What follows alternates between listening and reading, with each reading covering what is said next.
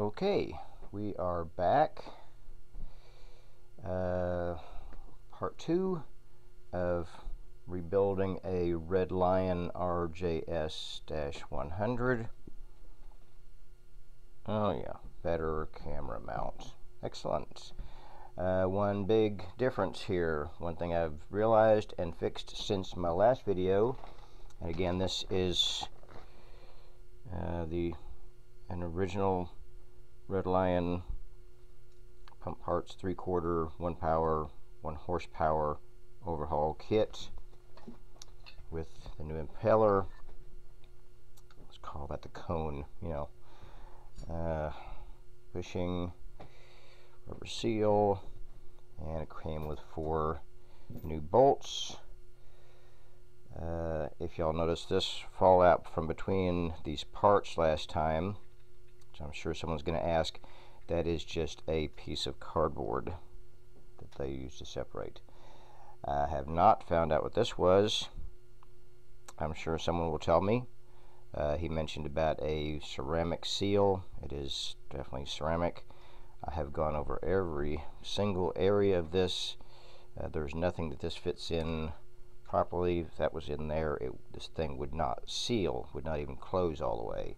So, couldn't tell you. I know that that was not in the original pump when I disassembled it, because I disassembled it on my front porch, of course. So, let's put this puppy back together. Now, the one big thing, this is going to be really important. And again, this is not part, you will notice this new addition, well not new, it was on there originally, I just took it off under the house.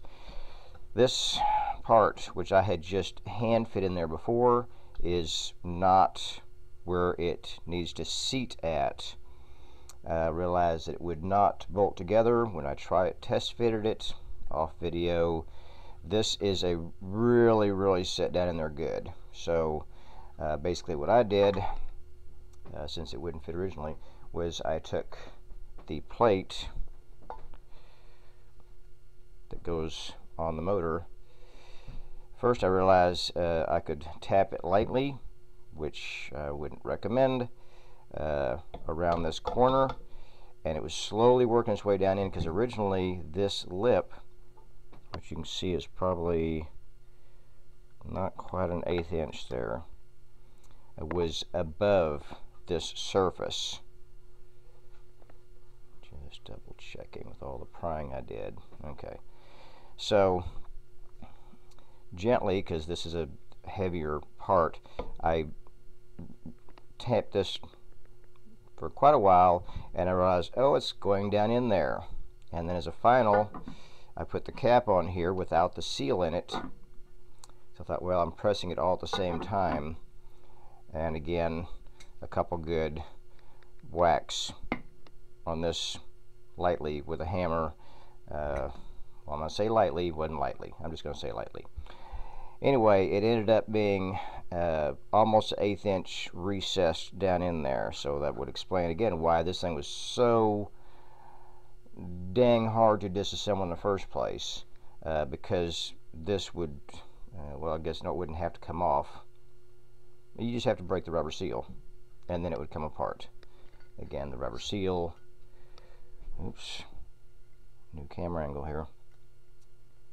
This is the new rubber seal. I did clean up. Oh, nice. A little bit smaller, so it'll stay on there by itself. Uh, once the impeller is on, then this will go on here. And I did test fit the whole thing together, bolted it down, torqued it. Perfect. There was always a little gap in here. I went back and looked at some video, some uh, pictures I took years ago, and uh, there that gap was there originally, which was also a concern of mine. So y'all notice this little thing here, and of course this will go on when I'm done. That's where all these scratches are. This is not from beating on the pump. This is from me putting this on because it was under the house, and it's uh, about uh, 14 inches, so it's not a lot of room under there to work. Uh, so this is, uh, you obviously have to have the water pressure coming off of the head to feed in through a hose feed to your pressure switch, which is would tell your pump whether to go on or off. So me being who I am, and that detailed person thinking, you know, because I've had this situation in the past where you always have that, how do I get the air out of this line to this? Uh, I mean, yeah, you could pull it off and, you know, but then uh, after the first time, yeah, I realized, well, yeah, I just pretty much got soaked because you have the full pressure of the pump head behind it. And it's really difficult to back on there when you're getting sprayed with water. So I installed a small gate valve, not really cheap. Maybe some people think it's excessive. Small gate valve, so I can uh, simply open that. Uh, so if I'm working on this or taking this apart, I can close that and not have the water coming the, from the pressure tank back when I'm working on electrical. Uh, when I'm ready to use it, I can open this valve, sorry, open the valve, and then on this one, I have a very small, like ice maker type valve you put in, so I can open that up. I can let the water out until all the air is out of the system except for maybe a little bubble in here. I close that back up, and I did it fairly snugly under the house, and that way it's primed. Your your valve is now getting the proper pressure from it. So yeah, that's just something else I threw on. Yes, everything under my house is either PVC or brass. Uh, one steel part there, but everything else is either uh, not PVC, it's a higher grade, uh, or brass. All my fittings, all my couplings, except for the pump itself. So, I'm sure someone's going to say, where'd all the rust come from in the pump, or did rust get into it? No, my entire system, uh, the check valve, all the pipe, everything is PVC or a higher grade plastic or brass. There is no steel between my water storage tanks uh, and even the valves on the storage tanks. Those are the plastic valves uh, between there and the pump. And where does the main oh, main water comes in here? Yeah, this again is a large under the house, a large brass fitting uh, with the check valve on it, the one-way flow valve, and then it goes from there directly into the plastic system. So we are ready to put this thing back together. Again, this you really, I mean, it is possible when you bolt this thing together, if you were to do them all at the same, uh, tighten them all slightly one at a time, it may press it in as is, but I didn't want to take that risk. I want to make sure the seal sealed good. So I've already pulled off the old washer, and somewhere here under all this. Up oh, there it was. New washer clean. Kind of curious because there is a drain slot here. This is the bottom of the motor or what sits on the bottom when it's mounted. There's a drain slot here so water actually I guess if something got in there it wouldn't uh, go down. This is a lot smaller washer. So that is actually going to sit all the way up against the motor a lot better than the other one. As you can see it was quite a bit larger, the original one. Um, interesting. Anyway. Okay, I'm doing this a lot slower because, you know, final assembly. Uh, yes. This goes on here. There's nothing that holds it in one particular spot. It just rotates, but that is hitting all the way flush in that groove. See that under there? So it should have this small gap. Oh, there we go. Uh, oh, pushing again, just like the old one. Uh, this part goes against the motor this part goes against that. I remember that because I looked at my old photos. I was prying on it. It was pushing against this. This one doesn't flex. Well, yeah, that's kind of... You might be able to hear it. Okay. So put the new one in. It's pretty snug.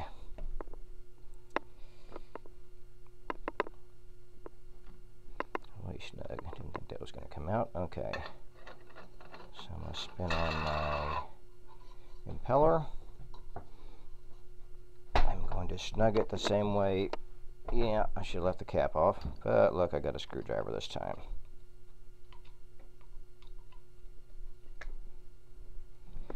So I'm going to use that and just hand tighten. Yeah, that is definitely went down a couple turns. Screwdriver in by hand. Okay, it feels pretty snug on there. Oops. Onward. Okay. So I'm gonna use this as a support again. Hold that up. Old old washer. That. Okay. Mm. Oh yes. Something I've always done with seals is oil.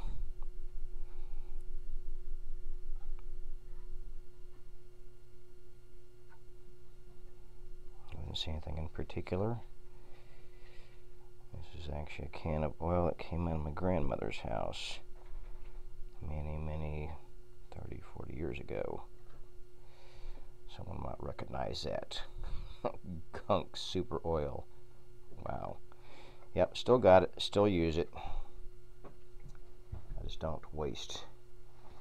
I don't need to. I wipe my hand off and I was just about to do the same thing over here. I have no instructions for this. I'm just thinking the oil might help to seal, maybe slide on easier.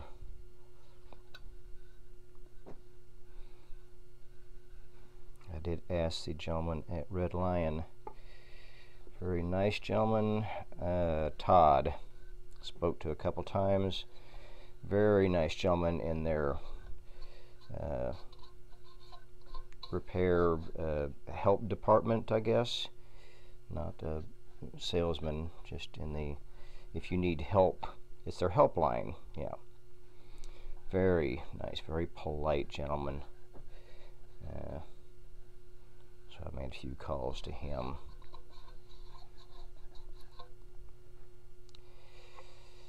Yeah, put oil on the outside just for the heck of it, not for any reason. Oops.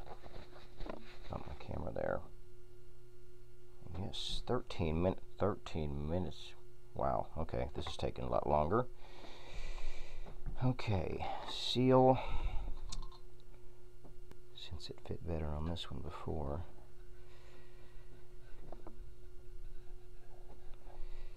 I did clean these edges very good. This edge on here uh, scraped off really good and the one around here because the old seal did leave a minute amount of seal there but very very little. Uh, no extra parts. Always a good thing to look around. Put my cap back on the back of the motor. Uh, I'm going to go ahead and use the four new bolts. Curious enough you're getting an idea what I'm like Three of them have JH, one of them has L8. So we have some variation in the bolts. I'm assuming they would be pretty good quality. The original ones 307A, CY1 maybe. Hard to tell. Anyway. This is where I get nervous.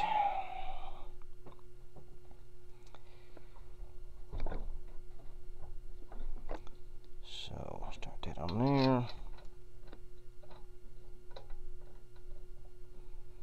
I've seen so many videos of people trying to hold the camera and dropping the camera and dropping parts and so well, this would be a lot easier if I had both hands and I was just determined to hand make me a harness. I was, well, not hand make, but some spare parts, straps, belts, whatever, and mount this thing. And yeah, I cannot imagine trying to do this and hold the camera in my hand. It just would not work. So now that I have this nice, which I can just glance down and I can see exactly what it sees. Okay. Wiggle looks in place. Wrench. Again, nervous. Whole thought is this thing has got to be drug about 60 feet to the other end of my house. It's just where I put it when I built the house. And complete it, mount it, wire it, reattach all the pipes. You have this one which goes off to the pressure tank which I put a quick connect on. Almost everything I put it had quick connects. This one is the one that goes to my check valve and again another large uh, quick disconnect. This one actually feeds off to another building which uh, has a uh, compression, not a compression, a flare fitting on it. So again, I could just break it loose and then unscrew this part, unscrew this part. So it's easy to get to all the, it's easy to, fairly easy to pull out, if you can imagine. Now someone says, why did you put it 60 feet under your house? Well, when I built the original house, from the scratch, you know, from the ground up I built it, uh, it was a small house. And then about 15 years later, I thought, eh, I could really use a bigger house. I'm trying to stay in range here. I'm just slowly going around and snugging them a little at a time, trying to get e equal pressure on that seal.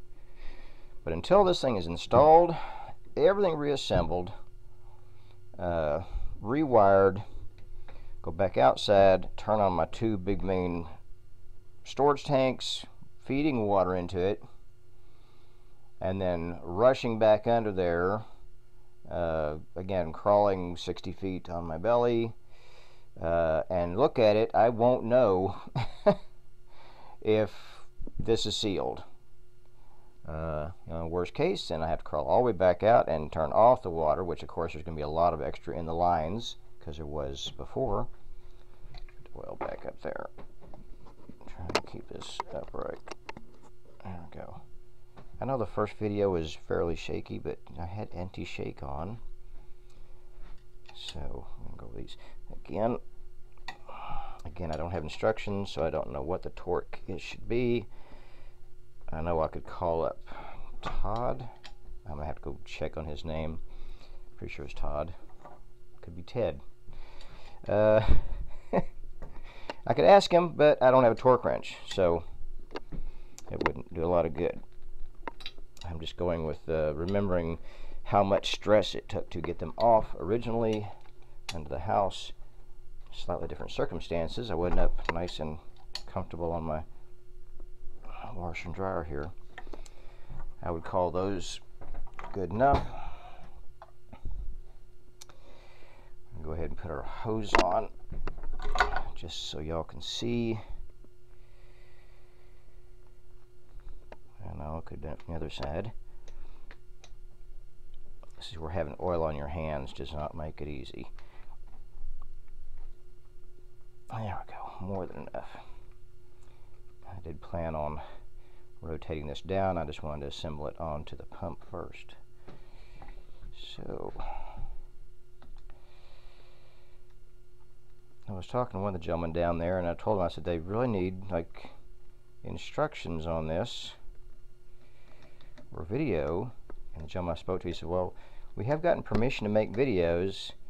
And I said, well, y'all y'all have so many pumps you make, that would take a lot of time. He says, exactly. So, uh, so I'm just going to decide which one I really want to point down. I guess the valve is not that important. But I'm trying to put, you know, as, as little stress as I can on this because the pump does vibrate, you know, slightly, you know, when it's running. Let's go ahead and put that on there because you know sure enough I'll get that thing pushed on there and I'm not going to be able to get it uh, that looks just about beautiful so I'm going to cut right about there Oop. camera is falling down Oops. oh I see that came off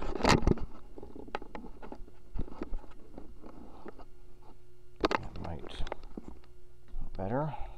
I I anything much. down. Anyway, as little stress as possible. There, I've got the clamp on. Doesn't have to go on that far. It'll also give a little bit of support to the electrical, which always moves a little bit. This up here.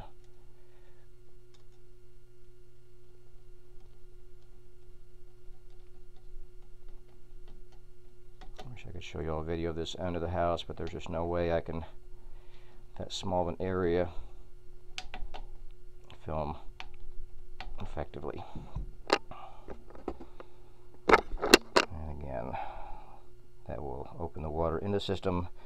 It'll fill this with, of course, this valve being open. And this just goes out on the ground. Okay. Uh, I believe that's it. All I can really think of. Again, you can see this.